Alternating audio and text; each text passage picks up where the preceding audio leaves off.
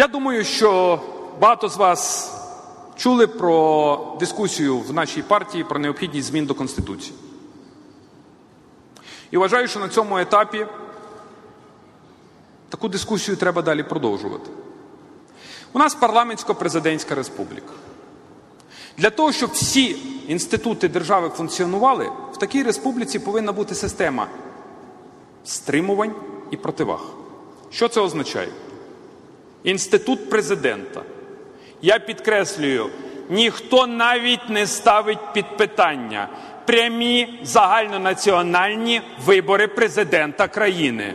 Президент є і буде, і народ буде виходити і приймати рішення, хто буде цим президентом. Але президент це є окремий інститут влади. Він не відноситься ні до виконавчої, ні до законодавчої, ні до судової гілки влади.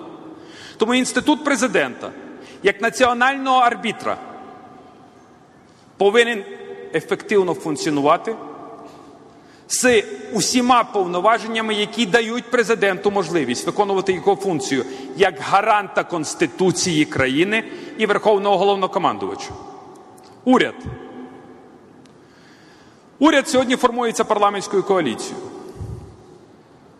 І як колишній прем'єр-міністр, я вам можу сказати, що в прем'єр-міністра країни неймовірні повноваження. Воно одне. Самостійно прем'єр-міністр України відповідно до закону має право тільки призначити і звільнити свого керівника апарату. Все. Як може функціонувати виконавча вертикаль влади з такими повноваженнями? Як можна ефективно виконувати державну виконавчу політику? Тому зміна закону про Кабінет міністрів, як і приведення у відповідність до Конституції всіх повноважень президента це те, що може зробити цей парламент.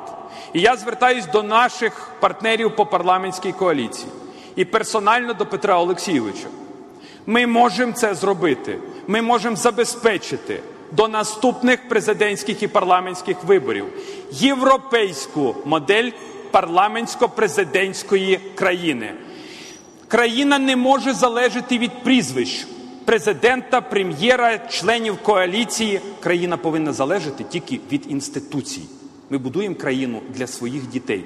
А ці інституції повинні бути підзвітні народу.